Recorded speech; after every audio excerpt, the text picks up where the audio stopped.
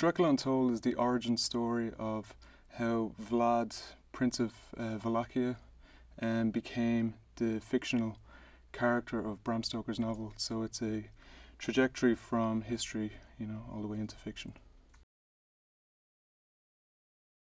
The love between Vlad and Mirena, um, it's one of those it's it's one of those timeless love stories. I mean, that's what we were trying to tap into. We are trying to tap into this idea of uh, love everlasting, and it'll go on through the centuries. Um, these are two people that found themselves and, and, and found each other in very difficult um, times, and were there for each other.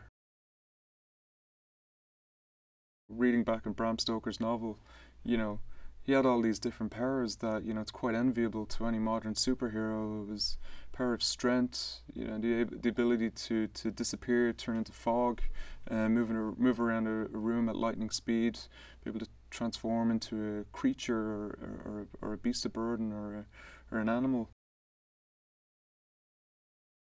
We were really there for each other from the very beginning. We we talked all the time about the character.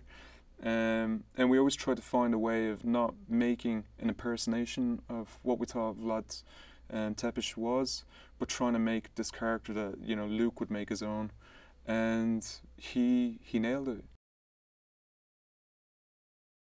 There may be a public awareness there, but what do you bring to the table? What's going to be different? What's the what's the soul of the film? Hopefully, what's universal about the film is this idea of um, family.